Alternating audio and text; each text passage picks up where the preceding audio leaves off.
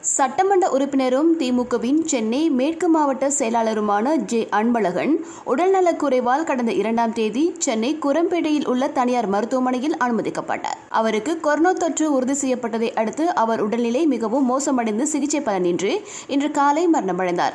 அவரது மரணம் திமுகவினர் மற்றும் குடும்பத்தாரை சோகத்தில் ஆழ்த்தியுள்ளது. கொரோனா தொற்று பாதிப்புள்ளாகி மரணமடைந்ததால் அவரது உடல் தமிழக சுகாதாரத்துறையினர் வசம் ஒப்படைக்கப்பட்டு கண்ணம்மாப்பேட்டையில் அடக்கம் செய்யப்பட்டது. மறைந்த ஜே. அன்பழகன் அரசியலையும் தாண்டி சினிமாவில் தயாரிப்பாளராகவும் விநியோகஸ்தராகவும் இருந்தவர். எனவே திரைத்துறை பிரபலங்கள் பலர் இரங்கல் தெரிவித்து வருகின்றனர்.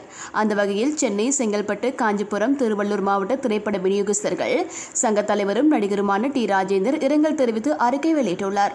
இதே நேரத்தில் நடிகர் செந்தில் போஸ் வெங்கட் உள்ளிட்டோரும் ஜெ அன்பழகன் மறைவுக்கு இரங்கல் தெரிவித்துள்ளனர்.